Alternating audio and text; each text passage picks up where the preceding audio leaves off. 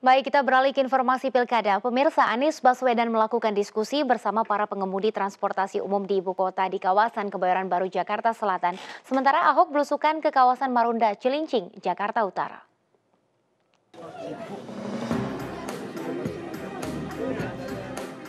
Memasuki bulan Februari, seluruh pasangan calon semakin gencar melakukan belusukan.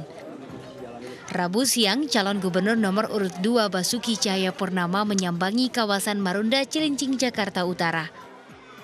Dalam kunjungannya, Ahok mendorong masyarakat sekitar untuk segera mengurus sertifikat tanah. Karena banyak warga ibu kota yang belum buat, untuk itu Ahok mensosialisasikan pengurusan BPHTB telah digratiskan bagi lahan bangunan seharga kurang dari 2 miliar rupiah. Sementara calon gubernur nomor urut 3 Anies Baswedan mensosialisasikan program penataan transportasi di Jakarta dengan diskusi bersama para pengemudi mulai dari bajai, angkot hingga kopaja di kawasan Kebayoran Baru Jakarta Selatan.